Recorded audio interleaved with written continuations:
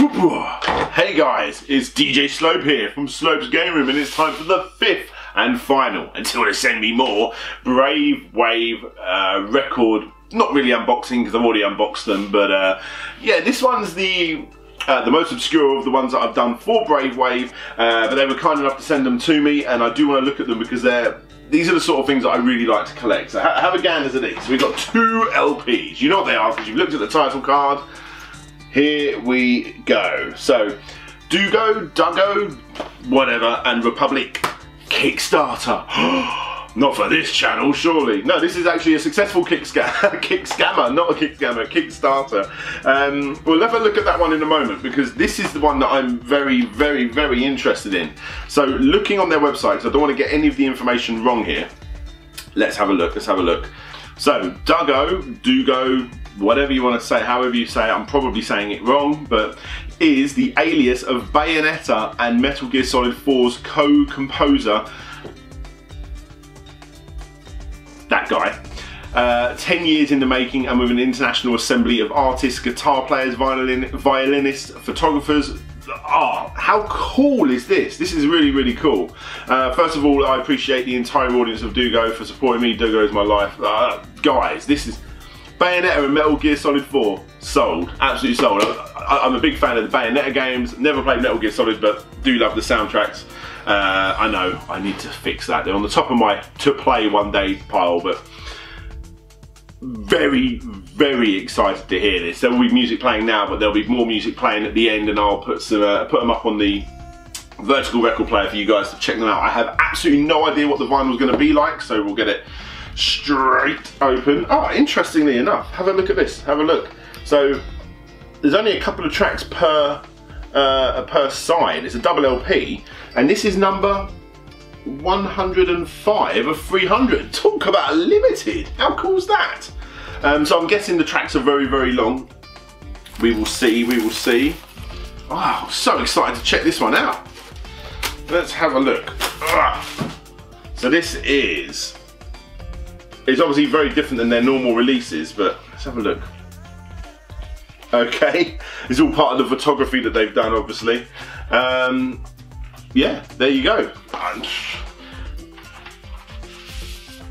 There we go, you got a nice booklet as usual with Brave Wave releases. Here we go, what's this say? First of all, I appreciate the entire audience of Dugo Duggo uh, for supporting me. Duggo is my life's work. I think many of the people who purchased this album are video game music fans and you can indeed find some affinity between my work for Duggo and my compositions for video games. So this is cool, this is cool. A bit of a love letter to the people that like the music that he does, obviously. So uh, yeah, got some nice imagery. Imagine it will complement the music quite well. Um, yeah, Cool, cool, cool. So let's actually have a look at the LPs. They may be just black, I don't know. Um, it seems like a very limited release. And yes, they are indeed uh, black LPs. Here you go, got that one there. You get yet again with that uh, photography. And side A, there we go. And I'm going to say that the other LP is probably going to be exactly the same as well. I'll put that that side. Here we go, just make sure they've got a download of the album in there. Oh wow, that's actually something a little bit extra. What's this? Whoa! Limited edition certificate of, uh, authenticity.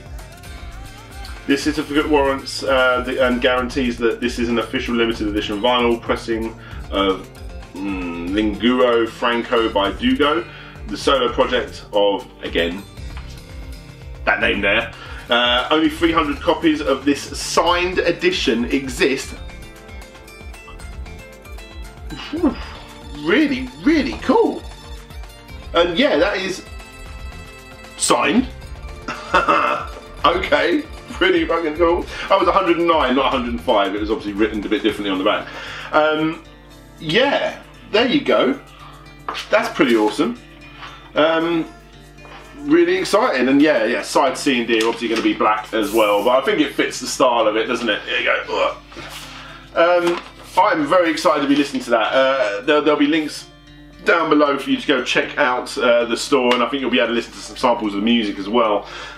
Very excited to listen to that. Now, this one, moving straight on to Republic, the very last Brave Wave record I have to unbox, or to show you guys at least. Um, so this was a Kickstarter that was successful as far as I believe. Um, and I have had a listen, when I got told I was going to get sent these, this is one of the ones I wasn't too sure. Oh, you're sending me that? Okay. I had a listen, like, this is pretty cool music. I'll, uh, there'll obviously be stuff playing now and I'll put some stuff up at the end when I give you guys some close-ups as usual. Ah, let's have a gander at this one. Let's have a look. So, really, really, really nice artwork. I'm trying to see if it's, if it's a really, you, you, can always see when an image is blown up, but that actually looks really, really good. That looks really nice.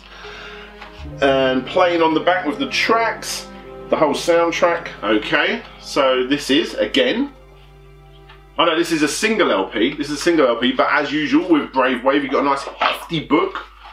And what's that in there? Download code for the LP. Yep, yep, yep, yep, that's okay. So let's have a look at the booklet itself. Ah, wow. I remember seeing this. Absolutely. I'll, I'll give you guys some close-ups. But uh, you got a nice foreword there by Ryan Payton. I'm assuming he's probably something to do with the game. He made it or something. Uh, oh, wow. What is this? What is this?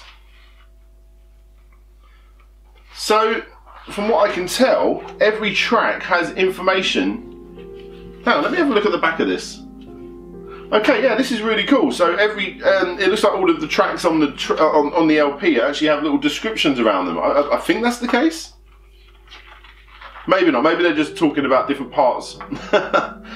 Guys, this is really, really nice. I'm not really showing you, am I? They're, they're just really nice little art books. They look beautiful. Again, I'm going to show you some close-ups. You'll be able to see just how crystal clear this artwork is. Guys, it's so good.